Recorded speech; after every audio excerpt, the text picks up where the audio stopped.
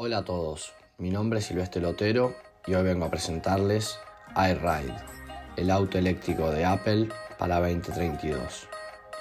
Para el mismo se desarrolló una morfología aerodinámica con una fluidez inspirada a partir de la morfología del mouse. Eso fue una referencia que luego se transfirió al parabrisa y al chasis principal del vehículo. A partir de eso, se trabajó una óptica trasera moderna que va de lado a lado del vehículo, con una tipografía de la marca, y ópticas frontales con una morfología agresiva, equipadas con un LED neón frío de alta potencia, que brinda gran visibilidad. Se trabajó en los espejos y el carcaseo de aluminio, como también se integró un puerto de carga trasero el cual cuenta con una luz de estado para informar al usuario sobre la carga del mismo.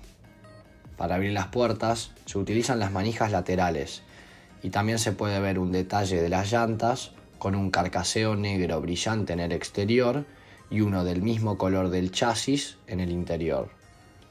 En la explotada se puede ver cómo está compuesto las partes principales del auto, el parabrisa, el chasis, las ópticas, el asiento, el dashboard y el volante, como también las baterías y los neumáticos.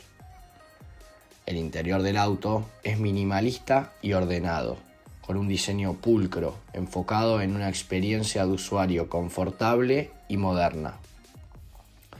Emblemático de la marca Apple, con una amplia pantalla ultra wide que va de lado a lado del torpedo, permitiendo al usuario utilizar múltiples acciones y aplicaciones.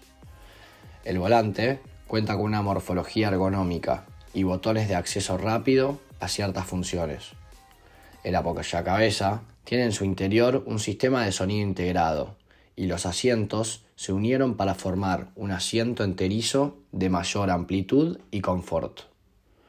En conclusión, el vehículo cumplió con mis expectativas, su morfología es moderna y elegante, referenciando a la marca Apple y sus grandes diseños. Muchas gracias.